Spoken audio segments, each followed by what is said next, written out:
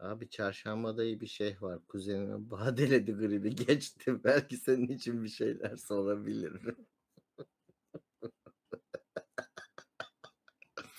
Sezar iyileştirecekse badelenmeye razıyım biliyor musun?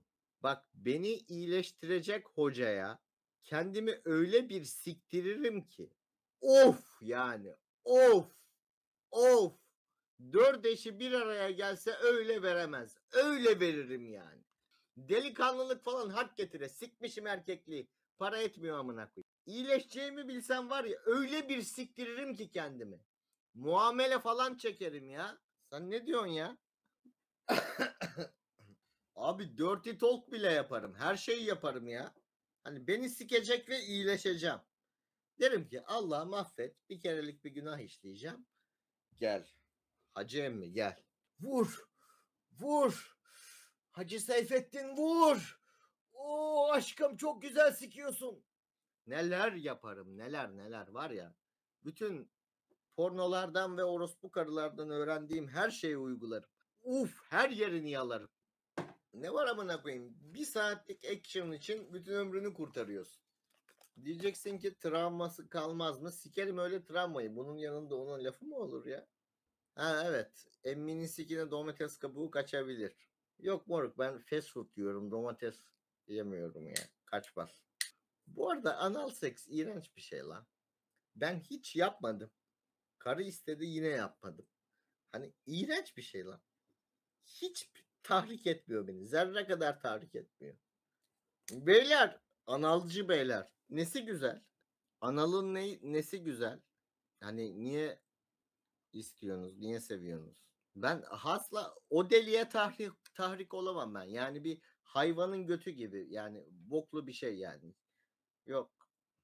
Yıkıyoruz biz. Delirdin mi sen evlat? Bu havada Fırat geçilir mi? Köprü yapacağız her sabah.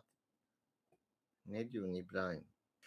Yasaklar istek uyandırır. Ama istek duyulası bir şey değil ki o. Bir de göt deliğinin etrafı kara olur genellikle. Pek estetik bir manzara da yok. Gerçi am da estetik bir organ değil ha. Am kadın vücudunun defosudur yani. Kadın vücudu götüyle, beliyle, memesiyle yani of bu evrenin en estetik şeyi ama am bir de moruk hiç denk geldiniz mi? Bazısının klitorisi fazla uzun oluyor. Yarrak gibi uzun olan klitorisi yarrak gibi uzun olan karı gördüm ben ya. Tat kaçırıyor ya. Bu ne amına koyayım diyorsun. Çıkık klitoris çok büyük falso. Evet Rey. Kesinlikle çok büyük falso. Yalvarırım dur. Ne yaptın? Niye yalvarıyorsun yavrum benim? Çıkık klitoris iyi değildir. Evet. evet. Ki zaten körelmiş bir penistir aslında orası. Baya tipinden de belli çüke benzedi. Kedinin çüküne benziyor. Kedi çükü gibi klitoris. Harbiden.